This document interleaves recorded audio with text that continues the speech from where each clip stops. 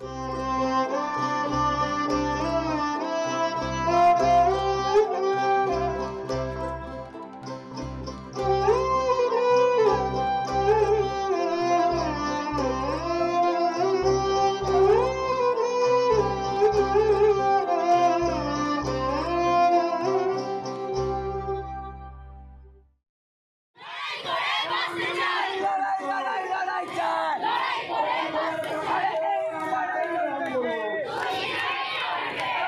গত আটাশে ফেব্রুয়ারি থেকে ছাত্রছাত্রীদের তিন দফা দাবি নিয়ে বিশ্বভারতীতে চলা অচলাবস্থা এখনও বহাল। যদিও গত আটই মার্চ মহামান্য কলকাতা হাইকোর্টের নির্দেশনামায় প্রশাসন এবং বিশ্বভারতী কর্তৃপক্ষকে কিছু ব্যবস্থা নেওয়ার কথা বলা হয়েছে।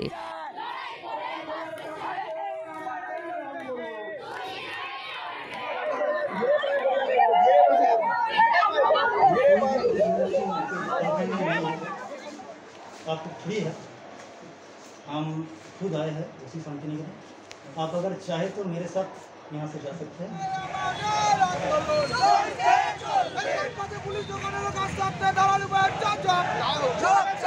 উদ্ভূত পরিস্থিতি কিভাবে এই জায়গায় পৌঁছালো এই সম্পর্কে বিশ্বভারতীর কর্মসচিব আশিস আগরওয়াল জানান देखिए मैं आशीष अग्रवाल अ, तीन माह पूर्व ही बड़ी आदर भावना के साथ गुरुदेव के इस विख्यात विश्वविद्यालय में सेवा की भावना से आया।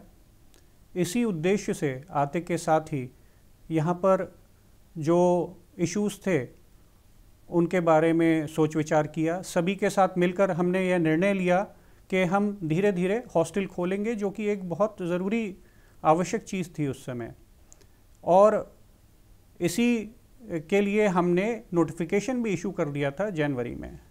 लेकिन हमें नहीं पता था कि कोविड की तीसरी वेव आएगी और हमारा निर्णय हम लागू नहीं कर पाएँगे। उसके कुछ समय बाद जब तीसरी वेव कम हुई और हालात कुछ सुधरे, फिर से हमने 25 फरवरी को एक नोटिफिकेशन इशू किया, जिसमें हमने यह तय किया था कि हम हॉस्टल खोलेंगे। 25 फरवरी शुक्रवार था। शनिवार और रविवार, अगले दो दिन ऑफ़िस बंद था। सोमवार को ऑफ़िस आने के बाद हमें जो 25 फरवरी का हमारा निर्णय था, उसके अनुसार कार्य करना था। लेकिन हमें कुछ समय ही नहीं दिया गया। 25 सोमवार को स्टूडेंट्स बहुत भारी तादाद में, भीड़ में आए, सभी जगहों पर गए, ताले लगाए, पढ़ाई बंद करा दी और मेरा घेराव कर लिया। मैंने उनको शुरू में समझाया कि हम कार्य कर रहे हैं और जब निर्णय हो जाएगा, सब कुछ होगा, उन्हें बता दिया जाएगा, लेकिन वो सुनने को तैयार नहीं थे। मेरे साथ मेरे और भी अधिकारी थे, हमारे एक जॉइंट रजिस्ट्रार थे, अशोक कुमार महतो, हमारे पीआरओ थे, डॉक्टर अतिक घोष, हम, मेरा सेक्शन ऑफिसर मेरा पीए हम पाँच जने नब्बे घंटे तक घेराव में रहे। यही नहीं, अगले दिन, शिवरात्रि का दिन था और मैं पूजा अर्चना के लिए जाना चाहता था। मैंने उनसे निवेदन किया कि मुझे जाने दिया जाए तो वो सभी बच्चे मेरे रास्ते में सामने लेट गए ताकि मैं बाहर ना जा पाऊँ, मेरा रास्ता रोक दिया। अब हमने ऐसा नहीं सीखा है कि हम बच्चों के ऊपर पैर रख कर जाएँ। मैं खुद धरती माता में, वहीं पर मैं वहाँ लेट गया और लेट कर मैंने बाहर निकलने की कोशिश की। उस समय भी उन्होंने बहुत अभद्र व्यवहार किया, मुझे खींच कर ज़ोर लगाकर पीछे किया। फिर मैंने सोचा कि बच्चों के साथ ज़ोर करना ठीक नहीं है, मैं जाकर वापस बैठ गया। मुझे बड़ा दुख होता है, मैं सेवा भावना के साथ यहाँ आया हूँ, सेवा करना चाहता हूँ। स्टूडेंट्स को पूरी तरह से सपोर्ट करना चाहता हूँ। मेरे को लगता है कि कुछ असामाजिक तत्व हैं जो उनको बहका रहे हैं गलत गलत चीज़ें बता रहे हैं। सभी को मालूम है किस तरीके से यहाँ हॉस्टल अलॉट किया जाता है। जो फ़र्स्ट ईयर स्टूडेंट्स हैं, उनको बता दिया गया था कि ऑफलाइन क्लासेस होंगी और आम तौर पर यहाँ पर जो स्थिति है, उसके हिसाब से स्टूडेंट्स को कुछ समय के बाद ही हॉस्टल मिलता है। शुरू में नहीं मिलता है, लेकिन उनको इन तत्वों ने बहकाया कि हम आपको हॉस्टल दिल दिलवाएँगे। और आपकी परीक्षाएँ भी ऑनलाइन करवाएँगे। और उनके बहकावे में आकर ये बच्चे ऐसे कार्य कर रहे हैं जो कि हम सोच नहीं सकते बच्चों को स्टूडेंट्स को, और वो भी गुरुदेव के विश्वविद्यालय में ऐसे कार्य करना चाहिए। मेरे मानव अधिकार का हनन हुआ, मेरे साथ मेरे बाकी अधिकारियों के मानव अधिकार का हनन हुआ। हमने उसके लिए मानवाधिकार संस्थान में, कोर्ट में, पुलिस में सब जगह निवेदन किया। फिर भी नब्बे घंटे के बाद, नब्बे घंटे हम वहाँ अंदर रहे, हमें बाहर जाने को मिला, जब पुलिस ने आके हमें उस बीच से निकाला। मेरा सभी अभिभावक अभिभावकों से निवेदन है, हाथ जोड़कर निवेदन है, अपने बच्चों को समझाएँ, यह उनका भविष्य है।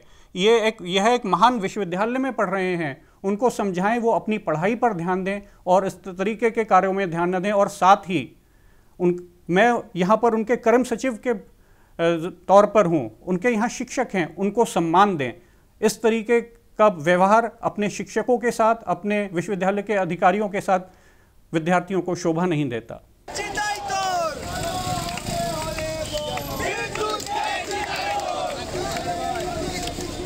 আন্দোলনকারী ছাত্রছাত্রীরা তাদের অবস্থান সম্পর্কে আমাদের জানান এখন যে তিন দফা দাবি সেই তিন দফা দাবি নিয়ে আমরা লাগাতার আন্দোলন করছিলাম এবং দেখতে পেলাম যে আমাদের উপাচার্য ছাত্রছাত্রীর সঙ্গে কথা না বলে কোর্টে গেলেন এবং তারপর যেভাবে পুলিশ ঢুকিয়ে ক্যাম্পাসকে কলুষিত করলেন তার বিরুদ্ধে আজকে আমাদের এই ভিক্ষার মিছিল এবং ভিক্ষার মিছিলে আমরা উপাচার্যের পুষ্পতলিকা দাহ করেছি।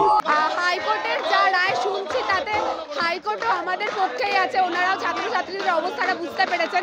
হ্যাঁ এখন অবধি আমাদের হাতে কিছু এসে পৌঁছয়নি। তবে যেটুকু শুনছি তাতে আমরা প্রত্যেকটা ছাত্রছাত্রী ওনাদের কাছে কৃতজ্ঞ। মহামান্য আদালত যে রায় দিয়েছেন ছাত্রছাত্রীদের আন্দোলনের উপর তাতে আমরা খুশি। কারণ এখানে দশ দিন ধরে টানা ছাত্রছাত্রীরা দাঁতে দাঁত চেপে ফ্যাসিস্ট উপাচার্যের বিরুদ্ধে ফ্যাসিস্ট উপাচার্যের বিরুদ্ধে লড়াই করে যাচ্ছিল। আজ আমরা আংশিকভাবে সফল। বিশ্বভারতীর উপাচার্য অধ্যাপক বিদ্যুৎ চক্রবর্তী তার পর্যবেক্ষণে দূরদর্শনের মাধ্যমে জনসাধারণের প্রতি আবেদনে জানান না এটার পিছনে আমাদের ইতিহাসটা দেখতে হবে। এটা আজকের দিনের ঘটনা তো নয়। আমাদের বিশ্বভারতীতে সবসময় চলেছে একটা দাদাগিরি রাজনীতি। সেই দাদাগিরি রাজনীতির বিরুদ্ধে আজকে কর্তৃপক্ষ দাঁড়িয়েছে বলেই এই ধরনের পরিস্থিতি হয়েছে। আজকের দিনে ছাত্রছাত্রীদের মূল দাবি তিনটে। একটা হচ্ছে গিয়ে হস্টেলটাকে খুব দ্রুত খুলতে হবে। দু নম্বর হচ্ছে অনলাইন পরীক্ষা নিতে হবে আর তিন নম্বর হচ্ছে আমাদের পাঠভবন ও শিক্ষাসত্রের পরীক্ষা পিছোতে হবে। দেখুন, হস্টেল খোলার ব্যাপারে আমাদের একটা অসুবিধা বা সুবিধা এটা ভাবতে হবে। কারণ হস্টেল গত দু বছর বন্ধ ছিল কোভিডের জন্য। তবে আমরা ইতিমধ্যেই আমরা পদক্ষেপ নিয়েছি যাতে হস্টেলটা খুব তাড়াতাড়ি খোলা যায়। আমরা কমিটি বানিয়েছি। সেই কমিটি হস্টেলগুলো চেক করছে এবং চেক করার পর আমাদেরকে যেভাবে রিপোর্ট দেবে, সেইভাবে আমরা যত তাড়াতাড়ি সম্ভব এই হস্টেলগুলো খোলা যা আমরা চেষ্টা করছি। তবে এটা ঠিক যে যেহেতু দু বছর বন্ধ ছিল, তার জন্য অনেক কিছু রিপেয়ার করতে হবে। যে রিপেয়ারের জন্য সেটা খরচা সাপেক্ষ। এবং আমাদের এই মুহূর্তে রেভিনিউ গ্রান্ট অনেকটা কমিয়ে দেওয়া হচ্ছে সেই সমস্তগুলো মাথায় রেখে আমরা চাইছি যত তাড়াতাড়ি পারি হস্টেলটা খুলতে। আমরা নিশ্চয়ই মানি যে অনেক ছাত্রছাত্রীদের অসুবিধা হচ্ছে কিন্তু ছাত্রছাত্রীদের এটা বুঝতে হবে যে আমাদের কাছে আলাদিনের প্রদীপ নেই যে যে কোনো কাজ খুব ঝটপট হয়ে যাবে। তবে আমাদের তরফ থেকে যথেষ্ট আহ, সত্বর যাতে কাজ করা যায় তার জন্য আমরা প্রচেষ্টা চালাচ্ছি এবং আমি আশা করছি খুব শীঘ্রই আমরা হস্টেলটা খুলে দিতে পারব। এবং সেজন্য অলরেডি আমাদের কাজ শুরু হয়ে গেছে। দু নম্বর বক্তব্য হচ্ছে যে পরীক্ষা সংক্রান্ত ব্যাপারে। ছেলে মেয়েদের দাবি হচ্ছে অনলাইন পরীক্ষা। কিন্তু পশ্চিমবঙ্গ সরকারের যে সরকারি নির্দেশ বা আদেশনামা এসছে, তাতে বলা হয়েছে যে সমস্ত পরীক্ষা অফলাইনে করা হবে। এবং আমাদের এখানে সাতই ফেব্রুয়ারি থেকে অফলাইনে ক্লাস শুরু হয়েছে এবং সেই ক্লাস শুরুর পর থেকে আমরা অফলাইনে পরীক্ষা নেওয়ার কথা সিদ্ধান্ত নিয়েছি। এবং সেই হিসেবে অফলাইন পরীক্ষাটা হবে। কিন্তু ছেলেমেয়েদের বক্তব্য হচ্ছে, আমরা অফলাইনে ক্লাস করব, কিন্তু অনলাইনে পরীক্ষা দেবো। সে ব্যাপারে আমরা নিজেরা অনেক আলোচনা করেছি। আমাদের স্ট্যাটিউটারি যে বডিগুলো আছে, তাতে আলোচনা হয়েছে। আলোচনার ভিত্তিতে এটাই ঠিক হয়েছে। যেহেতু বহু ছাত্রছাত্রী আসছেন, যারা বাইরে ভাড়া দিয়ে থাকছেন, তাদের জন্য আমরা এই মুহূর্তে অফলাইন করার কথাই ভেবেছি এবং অফলাইন পরীক্ষা আগামী এগারো তারিখ থেকে শুরু হচ্ছে আন্ডার গ্র্যাজুয়েট এবং পোস্ট গ্র্যাজুয়েটে এবং স্কুলের পরীক্ষা শুরু হবে একুশ তারিখ থেকে অফলাইনে আর তৃতীয় পরীক্ষা, তৃতীয় যে দাবিটা ছিল যে পাঠভবন শিক্ষা সত্রের ছেলেমেয়েদের আরও এক সপ্তাহ পরীক্ষা পিছোতে হবে। এটা কিন্তু আমরা ইতিমধ্যেই পরীক্ষাটা পিছিয়েছি। পরীক্ষাটা সাধারণত আমাদের হওয়ার কথা সাত, আট, নয়ের মধ্যে, যেটা অন্যান্য বছরেও হয়েছে। এবারে কিন্তু সেটা আমরা না করে অলরেডি আমরা এক, দু সপ্তাহ পিছিয়েছি, একুশ তারিখ করার কথা। এবং এটা আমরা পিছনে এর থেকে বেশি পিছনে যাবে না। কারণ আমাদের ছেলেমেয়েরা অন্য জায়গায় ভর্তি হতে তখন পারবেন না। সব জায়গাতেই পরীক্ষা শেষ হয়ে যাবে, ভর্তির ডেট শেষ হয়ে যাবে, যাতে আমাদের ছেলেমেয়েদের কোনো ক্ষতি না হয়।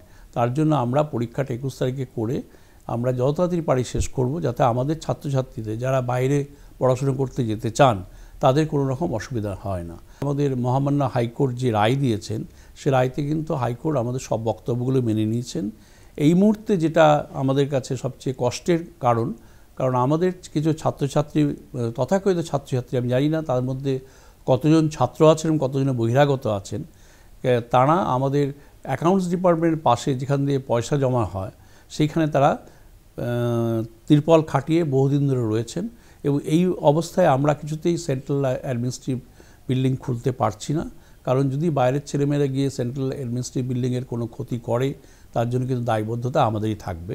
এবং লাইব্রেরি খুলতে পারছি না, কারণ লাইব্রেরির ক্ষেত্রে যদি কোনো রকম ভ্যান্ডালিজম হয়, সেটা দায়িত্ব আমাদের উপর থাকবে। অতএব এই অবস্থাতে যতদিন পর্যন্ত ছাত্র তথাকথিত ছাত্রছাত্রীরা ওই আমাদের সেন্ট্রাল বিল্ডিং কমপ্লেক্সের মধ্যে ত্রিপল গেড়ে থাকবেন, ততদিন আমরা সেটা খোলার কথা ভাবছি না। এখন একটা প্রশ্ন আসছে যে আমরা কি করছি? আমরা হাইকোর্টে গিয়েছি, হাইকোর্টের কথা মতো আমরা পুলিশ প্রশাসনকে জানিয়েছি বারবার আমরা ডিজিকে চিঠি দিয়েছি, আমরা এখানকার এসপিকে চিঠি দিয়েছি, আমরা ওসিকে চিঠি দিয়েছি, বারবার, বহুবার চিঠি দেওয়া হয়েছে, কিন্তু পুলিশ প্রশাসন তেমনভাবে আমাদের সাহায্য করছে না। সেন্ট্রাল অ্যাডমিনিস্ট্রেটিভ বিল্ডিংটা আমাদের মানে বলব, কি বলব, ধরো, হাব অফ বিশ্বভারতীর অ্যাক্টিভিটি। সেইখানে এই ছাত্রছাত্রীরা যারা বহিরাগত, তারা কতজন ছাত্রছাত্রী আমি জানি না। তারা যখন রয়েছেন, তাদের ক্ষেত্রে যদি কোনো রকম বিধ্বংসী কাজকর্ম হয়, তাতে কিন্তু আমাদের পুলিশ কোনো দায়িত্ব নেবে না। এবং পুলিশকে বারবার অনুরোধ করা সত্ত্বেও কিন্তু পুলিশ নির্লিপ্ত হয়ে রয়েছে। এটা কিন্তু খুব দুঃখের কারণ।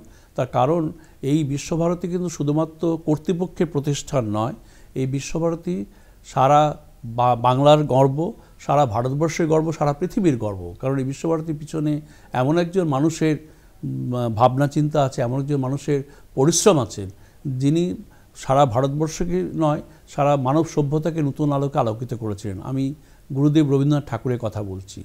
গুরুদেব রবীন্দ্রনাথ ঠাকুরের প্রতি যদি কারও এতটুকু শ্রদ্ধা, ভক্তি থাকে, তাহলে কিন্তু আজকে আমার মনে হয় সমস্ত বাংলাকে এগিয়ে আসতে হবে এই বিশ্বভারতীকে বাঁচানোর জন্য। এই বিশ্বভারতীর অবনমনের পিছনে কিন্তু আমরা নিজেরাই দায়ী। অতএব এই অবনমনকে রক্ষা করার জন্য আমাদের সবাইকে এগিয়ে আসতে হবে। এবং আমি খুব আনন্দের সঙ্গে বলছি, আমাদের সমস্ত সহকর্মী, আমাদের সমস্ত non teaching staff teaching staff তারা সবাই আছেন। যখন আমাদের রেজিস্ট্রার আমাদের আরেকজন জয়েন্ট রেজিস্ট্রার এবং আমাদের পিআরওকে আটকে রেখেছিল। আমাদের ছাত্ররা, তথাকথিত ছাত্রই বলব, ছাত্ররা বলব না। এবং তারা যে অভদ্র ভাষায় গালিগালাজ করেছে, তাতে মনে হচ্ছিল না যে তারা বিশ্বভারতী ছাত্র বা তারা কোন পরিবারের থেকে এসছেন। কারণ তার সংস্কারের মধ্যে আমি কখনো কিন্তু দেখিনি যে এমন সংস্কার যাতে এই গালিগালাজের বিরোধিতা কেউ করেছেন। যে অভদ্রভাবে ব্যবহার করা হচ্ছে, আমাদের রেজিস্ট্রারকে বিভৎস- বিভৎসভাবে অপমান করা হয়েছে। সেইটা দেখে আমরা খুব দুঃখ পেয়েছি যে আমাদের বিশ্বভারতীর ছাত্র যদি হয়ে থাকেন তারা তারা কেন এটা করলেন আমি অবাক হয়ে যাচ্ছি। অতএব আমি সমস্ত এই আপনাদের ইন্টারভিউর মাধ্যমে সমস্ত বাঙালি জাতিকে, সমস্ত ভারতবাসীকে, সমস্ত বিশ্ব জাতিকে আমি অনুরোধ করব, একান্ত অনুরোধ করব, হাত করো জোরে, যে আপনারা আসুন, বিশ্বভারতীকে বাঁচান। কেন বিশ্বভারতীতে এই ধরনের নোংরা রাজনীতি বহুদিন ধরে হয়ে আসছে। সেই নোংরা রাজনীতির বিরুদ্ধে কর্তৃপক্ষ দাঁড়িয়েছে বলেই আজকে এই ধরনের দুর্ঘটনা ঘটে যাচ্ছে। আমি আশা করছি আমাদের সবার শুভবুদ্ধি উদয় হবে এবং বিশ্বভারতী আবার আগের মতো সেই জায়গায় ফিরে যাবে। আদালতের নির্দেশে আটচল্লিশ ঘণ্টা পর বিশ্বভারতীর হস্টেল খোলার প্রক্রিয়া শুরু করল বিশেষ কমিটি। খোয়াই ছাত্রীনিবাস থেকে একের পর এক হস্টেল খোলার প্রক্রিয়া শুরু করল এই কমিটি। কমিটিতে রয়েছেন পুলিশ ও বিশ্বভারতীর প্রতিনিধিরা। বিশ্বভারতীতে প্রায় তিরিশটি ছাত্রছাত্রীদের হস্টেল রয়েছে।